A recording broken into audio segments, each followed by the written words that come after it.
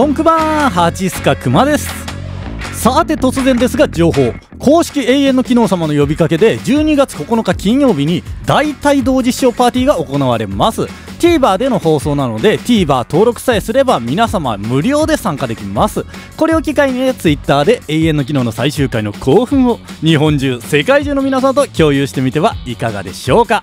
さて今回は永遠の機能の第6話の感想をしていきたいと思います。前回ね飛び降りを止めたりなんやらあった中での今回。そしてそろそろかもっていう高一の不穏な言葉。どういう物語が今回は紡がれていくんでしょうか。男性目線で忌憚なく感想を言っていきたいと思います。それではレッツゴー委員長と充と高一で話をしています。委員長の話によれば先生はどうやら疲れがたたって入院してしまったとのことです。まあ一番の理由は恋煩いだろうけど本当にメンタルに来たらね体までやばくなるから気持ちは察します。光一が死体になって3日目嫌が王にもその事実がっていうモノローグが意味深に流れてきます。するとねシャツを思いっきりはだけたイケメンが入ってきます。今時ね前ボタン全部開けに白シャツはすげえワイルドだな。このイケメンもその ぜひね B で L してほしいぐらいのイケメンですね。これ山田に渡してくんね。彼は DVD を充に押し付ける。バスケの試合のやつかな。でも光一は彼の目の前にいるんだよね。いや直接渡すよ。目の前にいるし。いいじゃん。じゃあ頼むわ。そう言って彼は去っていきます。不審な顔でそれを見送る充それに対して光一は落ち着いて言います。あいつもか。多分俺のこと見えてないわ。見えてない。とんでもない事実がね判明してオープニングが始まります。授業が始まってるのに生物教室に行くみつるとこいつと委員長。緊急会議ですね。ウーパールーパーが可愛いです。いつから？今朝から。そういうやりとりをみつるとこいちがします。委員長はうろたえててアンケートでも取るか。あなたには山田光一くんは見えてますかって。バカかお前。だけど現状把握しとく必要が。わかんないなら対処のしようがないだろ。何起こってんだよ。ここら辺はね委員長が結構正しいとは思うんだよ。何が起こってるかわからない時はちゃんと調査をする。規則性を見つける。そうしなきゃ解決方法は見えてこない。僕でもね同じ立場ならそうすると思います。でも充は調べようとした委員長にバカだって言って怒ってしまう。その理由は多分さそれを知ってしまうことの先に絶望しかないってことをもうなんとなく分かってるからじゃないかな。今の高一の状態がもう実は治らないってこと。なのでこれだけ苛立って怒ったんじゃないかなと思います。ごめんみっちゃん。余計なこと言って。俺そんな気にしてないから。多分これが自然なんだよ。死んだら忘れられるのが。死んだらね、だんだん忘れられていく。これは本当に普通だと思うし、生きてる限りさ、例えば人が死んでしまった時の痛みをずっと抱えることなんてできません。生きていくために人間は時間で心の痛みを忘れるようにできています。ただね、重いトラウマのようにその時の痛みが時折リフレインしてしまうこともあるので完全に忘れられるかといえばそうでもないんですがお前は生きてるだろう。死体だけど生きてる。死体だけど生きてる。突然ね声が聞こえて委員長がビビって倒れます。出てきたのはなんと玉木先生です。昨日はありがとな。山田がいなかったら最悪な事態になってたかもしれない。本当にありがとう。そう言って深々と頭を下げる玉木先生。正彦はもう戻ってこない。本当は俺が辞めるつもりでいたんだけど違う場所でやり直したいそうだ。じゃあな早く戻れよ。先生は授業に戻るように促します。そして一旦は帰ろうとする3人。でも充が振り返って先生小川先生があそこまで思い詰めたのって先生のせいですよね。玉木先生を問い詰める充先生は一泊置いて言います。そう俺が正彦を振ったからだ。なんで振ったんですか？優しくていい人なのに。それだよ優しくていいやつだから。早く別の相手を見つけた方がいいと思った。飽きたってことですか？うん、今でも正彦愛してるよ。愛してるけど、一番じゃない。後悔してる。あいつの優しさに甘えてしまったんだ。言い訳ですか？一緒にいるのになぜ？みつるが問い詰める。ここね先生はさ、言い訳でなくてもさ、なんか都合のいいこと言ってるなーってクマも思っちゃったんだよね。めちゃめちゃ勝手やなって。でも、次の先生の衝撃の言葉に、クマももうね、何も言えなくなっちゃったね。俺の一番はもういない。もう亡くなってるんだ。もう20年近く経ってるっていうのに、今でも彼を探してる自分がいて、もう呆れるよ。その話に愕然とするみつる。いや、これはね、でも本当にちょっとね、すみませんって感じでしたね、僕も。この苦しみはさ、僕も理解はできないけど、まあ同じような立場になったらね、いろいろ悩むんだろうなって。みつるもそんな感じだよね。ダメだ。こんな話を聞きたかったわけじゃない。聞きたくなかった。それじゃまるで俺たちの。その瞬間、光一がみつるの手をつかみます。先生、同着1位じゃダメですか？同着 ?2 人じゃダメなんですか？同じくらい好きで、両方1番。ここね、僕は生放送中でもみつるには酷だなって言ってしまいました。そう、これはね、先生にも言ってるんだけれど、みつるに対しても光一は言ってるんだよね。近江、お前の相方は変わったこと言うな。先生もおそらくみつると光一が付き合ってることが分かってるんだよね。だからこんなセリフを言いました。光一、一番は一人だから一番なんだ。みっちゃんと同じくらい好きな人がいるって言われたら、俺はめちゃめちゃ腹を立てると思う。みつるはね、心でそう思うんだけど、そう思うのも無理ないよね。これはね、光一、みつる、両方の気持ちがわかります。もう消えてしまうから先を見てほしいと思う光一と、そんなことは絶対に思いたくないみつる。その日の夜、光一の桃の傷が開いてしまって病院に行きます。でも先生はその縫合に苦戦しています。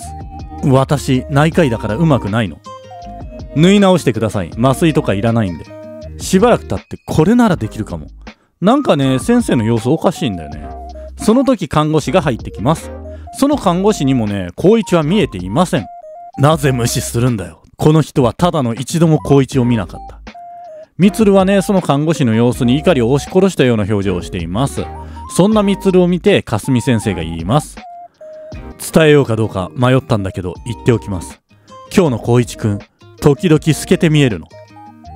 光一、お前透けてるってよって笑い飛ばすこともできなかった。この時のね、みつるの表情っていうか、この辺りのね、みつるの表情全部ほんと演技がうまいだけに、みつるの辛さがね、こっちにまで伝わってくるような感じですよね。いいんだよ。みっちゃんだけに見えてたら、それでいい。光一はそう言います。でも、それだって時間の問題じゃないのか。その時ね、病院でみつるは誰かと肩をぶつけます。それはなんと、高一を引いたトラックのおじさんです。なんで病院にいるんだ？おじさんはみつるを見つけて、あの彼はどうなったの？生きてるの？彼は今どこにいるの？無事なの？ここにいますけど。え、どこ？どこにいるのだからちゃんとここにそう言おうとするみつるの肩に光一が手を乗せます。それで光一が何をしろって言ってるのか分かってしまうみつる。生きてます。痛みとかはないみたいです。とにかく生きてます。奇跡的に。そっか。よかった。あの後いろいろ病院回ったんだけど、あの後さ、警察にどこにもいないじゃないかって怒られて。ちょっと時間ある。待っててもらえないかな。おじさんはね、警察を呼んだり、事故を起こしてしまったことなり、ちゃんとやることはやってるんだよね。そして高一のために近くの病院を探し回っていた。まあここまでね恐ろしいことになったら普通はなかなかできないことだと思います。なんでですか？みつるはそう言います。母の容体があまり良くないみたいで少し様子見てくるだけだから。実はあの日もね少しスピードを懲らしめてやる。徹底的に。俺はあんたを許さない。みつるはそう思うんだけれど。分かりました。早く言ってあげてください。もうここね、思ってることと言ってることが全然違うんだよ。逆なんだよ。もうここほんとね、こっちの心が痛くなりそうでしたね。ごめんね。一度は彼にもお詫びしたくて、ちょっと待っててね。おじさんはそう言って走っていきます。ビビった早く行こうぜ光一はそう言います。おじさんを待たずに帰ってしまう二人。んだあ、光一。お前腹立たないのか引いたのに無視して。お前を引いたやつだぞちょっと待って。考える。よく考えたら俺怒っていいかも。でも、なんかそういう気分になれない。なんでだろう。みっちゃんが怒ってるからかな。俺の分まで。みっちゃんすげえ怖い顔してる。そう言って光一はみつるの口角を無理やり手で押し上げますやっぱこっちの方が可愛いややめろよ振り払うみつるそして泣き出すごめんなみっちゃんそのみつるを後ろから抱きしめる光一俺がこんなんで。また謝ってる光一。涙の止まらないみつる。畜生畜生ごめんみっちゃん。ごめん。その夜熱を出してしまったみつるが寝ています。それに寄り添って看病する光一。みつるがねいろいろと光一に要求します。それを全部聞いていく光一。分かった。あとはそばにいてくれ。当たり前だろ。そう言って額にキスをする光一。じゃ取ってくる。熱は下がらなかった。それはきっと半分光一のせいだ。そういうモノローグが流れて今回の物語は終了します。はい。今回はねめちゃめちゃに重たい回でしたね。まずねほんとこの物語がねいやらしいなと思うことは出てくるキャラクターそれぞれに事情があること。誰か一人がねもしド悪人ならみつるはもう少し気分が救われていたのかもしれないと思った。例えばさ玉木先生がマジでただの浮気症のクズな理由で小川先生を切り捨てていればみつるはあの時怒りに任せて先生を徹底的に糾弾できていました。引いたおじさんがもっとクズであればそのおじさんへの復讐をみつるはしたことでしょう。でもさそのおじさんは悪人ってわけではなくてささらに光一もおじさんに復讐することを望んでないから復讐はできません。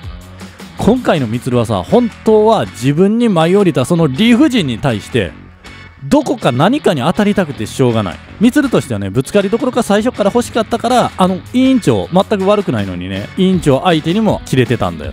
なのにさ思いっきり誰かに当たることすらできない。先生は先生で事情があっておじさんはおじさんでまあ悪人っていうわけではなかった。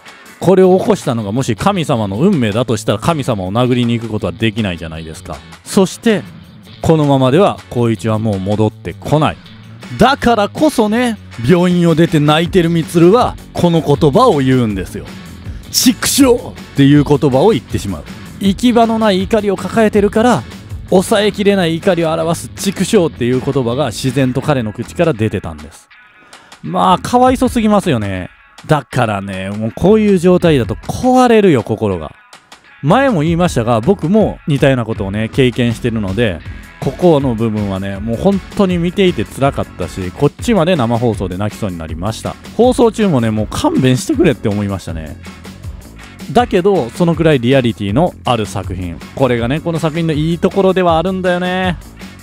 今回一番みんなの心に残ったセリフはおそらくダントツで2人いちゃダメなんですか？同じくらい好きで両方一番になると思います。もしあなたが例えば世界一大切な人が亡くなってしまったとしてすぐに1番を2人にすればいいかって言われたらまあ普通切れますよね。みつるはましてや高校生です。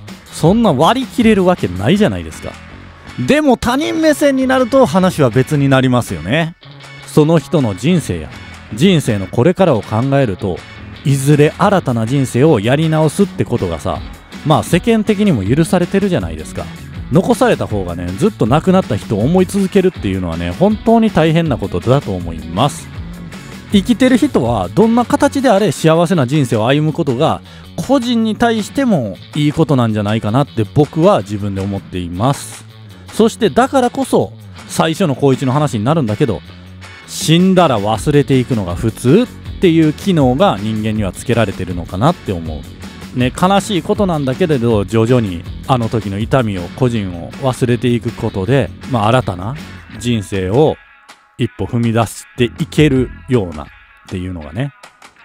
もちろん個人を思い続けて人生を送る人がいたらその人の人生ってすごく意味のあるものだと思うしめちゃめちゃ素敵なんだけどさ誰もがそれをしなくちゃいけないっていうことはないと思う。誰もがそれに耐えれるわけでもないと思うんだ。そして高一っていう立場を考えると高一はもうすぐ消えてしまうから今言っとかなきゃ伝わらないんだよね。10年後に伝えることはできないんだよ。それらがね全部分かってしまうから光一の気持ちも充の気持ちも否定できないなって思ってしまったシーンになるんだよね。まあ本当にね考えさせられる第6話でした。これが今回の感想になります。さてそんなねもう残酷なストーリーを書く原作は重版されるほどの人気で絶賛発売中。僕もドラマが終わり次第購入予定。ネタバレ OK でどうしても先が知りたい方は購入を検討してみてもいいのではないでしょうか。そしてドラマ「永遠の機能」は MBS 系で絶賛放映中。Hulu で見放題。1月からララ TV で放送。続報ありましたら僕のチャンネルでも伝えようと思います。